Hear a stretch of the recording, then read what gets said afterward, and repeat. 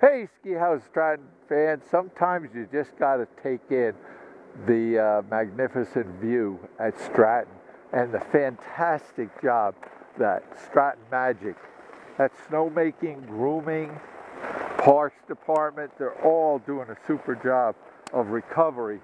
And man, the skiing is right back up to where it was before we got hit.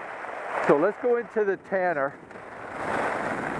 Hey, I don't know if you saw Big Air, but that Ben Kettler is pretty dominant in that event for the riders, the skiers, I mean. So we're dropping a knee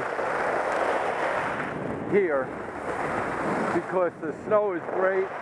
The racers haven't cut it up. They're on standard I think they're going over to East Burnside. I have to take a look and see. But we've got this to ourselves, and we have some unmolested corduroy in front of us to enjoy.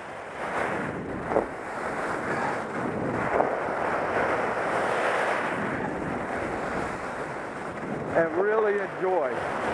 Woo! I'm on the Head Kore 2022.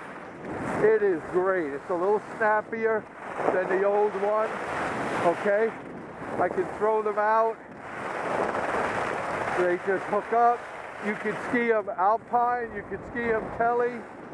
It's just a very versatile ski. So stop by Ski Haus, Get tuned. Get fitted.